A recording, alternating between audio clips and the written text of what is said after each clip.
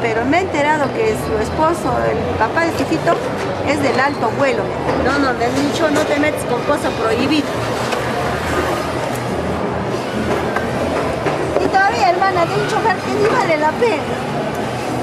Ay, Dios mío. ¿Cómo?